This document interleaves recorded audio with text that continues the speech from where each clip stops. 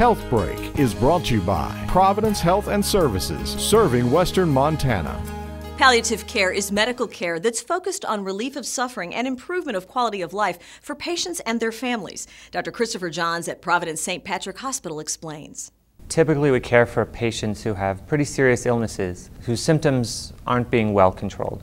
So we focus on relief of pain and other symptoms, emotional symptoms like stress or depression, and even spiritual symptoms that can accompany serious illness. Providence provides palliative care to patients in two settings. In the ambulatory setting, so in the clinic, and what's relatively new here at St. Patrick is the inpatient or acute side of palliative care.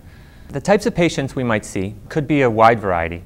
It could be a patient with a chronic, stable but incurable disease like advanced heart disease or lung disease like emphysema who are receiving all kinds of uh, intensive medical treatments, but are having difficulty controlling some of the symptoms related to the diseases or the treatments of their diseases.